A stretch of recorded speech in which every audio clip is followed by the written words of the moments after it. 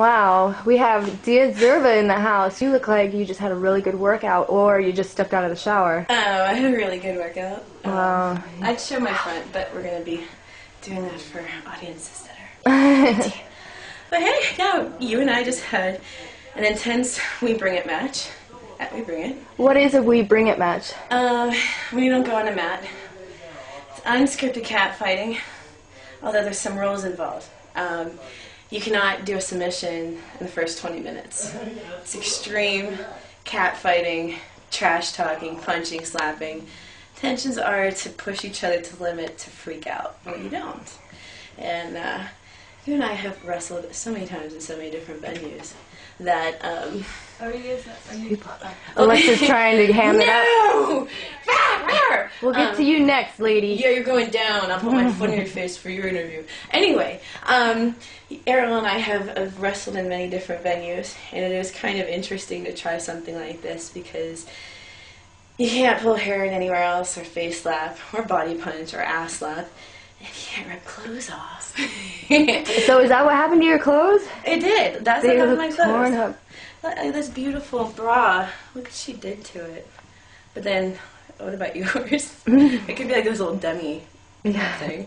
My my priceless ivory band. the headband that snapped. yes, and some beautiful stockings. You might want to keep those stockings. I think maybe some people might want to buy those.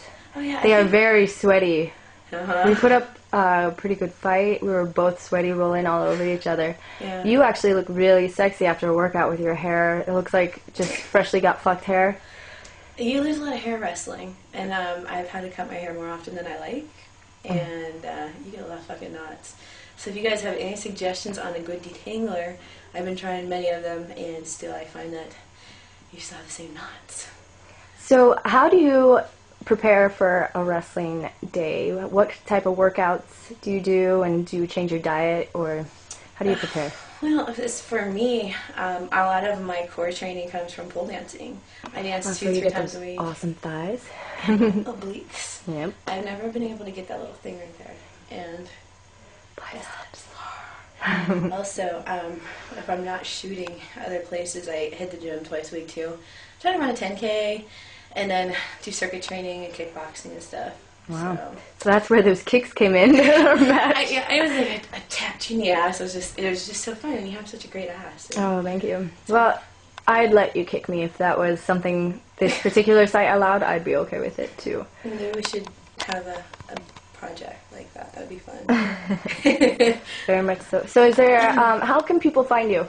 Uh, you can find me on diazerva.com. The site is inactive. However, the lounge, you can go in there, register free on my forums, and you can see what sightings and what projects are happening. Um, my website is more about fans, so suggestions that you put onto the forums, they're actually shoots in process. So I have over 30 videos right now to release on the website and over 2,000 photos. And right now I'm just trying to generate a little more content to get that active. Very good. So, are there any special projects you want to mention? Uh, maybe the fans can check out. Um, well, Clips for Sale. I have a store there. It's two three seven five five, and um, Say it again slowly. Uh, two three seven five five. it's twenty three thousand seven hundred and fifty five. That's All right. the store number, Okay. and um, you'll see a lot of hot lesbian action kiss kissing, um, bastinado, and uh, eventually there'll be some cat fighting and wrestling on there too. Awesome. All right. So, you're some of our members' um, favorite wrestler, and I think we see why. You're outstanding, and it's always a pleasure to work either around you or with you. It's a pleasure to work with you too, Erin. All right. Thank you very much. Thank you guys. Take Bye. care and uh, keep me posted on what you think.